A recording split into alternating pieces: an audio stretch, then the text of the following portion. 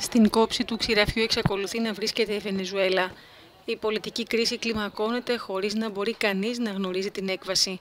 Εκατοντάδες πολίτες τραυματίστηκαν στο Καράκας κατά τη διάρκεια συγκρούσεων με τους άνδρες του στρατού. Η διελκυστίνδα μεταξύ του Νικολάς Μαδούρο και του Χουάν Γκουαϊδό έχει διχάσει τη χώρα. Μετά από μια ημέρα σκληρών συγκρούσεων, ο Νικολάς Μαδούρο εμφανίστηκε στην εθνική τηλεόραση έχοντας στο πλευρό του υψηλόβαθμα στελέχη του στρατού και κυβερνητικούς αξιωματούχους. Στο διάγγελμά του υποστήριξε ότι η απόπειρα πραξικοπήματο απέτυχε.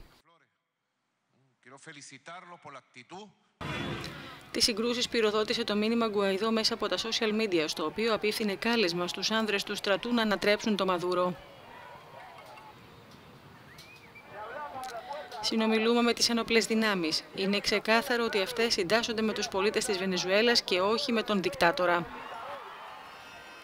Ο Γκουάιδο από την πλευρά του υποστηρίζει ότι πρόκειται για την τελευταία φάση πριν την ανατροπή Μαδούρο.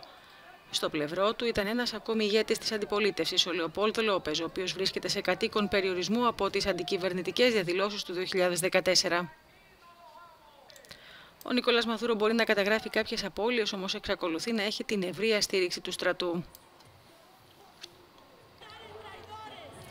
Αυτοαποκαλούμενοι στρατιώτες υποστηρίζουν ότι τους στήθηκε παγίδα, όμως δεν ισχύει κάτι τέτοιο. Είναι προδότες της χώρας, είναι προδότες του λαού.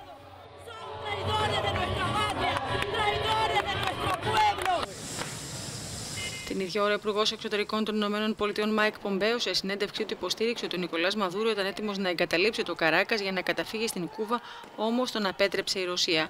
Ο Μαδούρο από την πλευρά του κατηγόρησε τον Πομπέο για έλλειψη σοβαρότητας. Ο Ντόναλτ Τραμπ από την πλευρά του κατηγόρησε ευθέως στην Κούβα μέσω Twitter πως διαθέτει στρατό στη Βενεζουέλα και απείλησε με μεγάλες κυρώσεις σε περίπτωση που δεν αποσύρει η Αβάνα τα στρατεύματά της.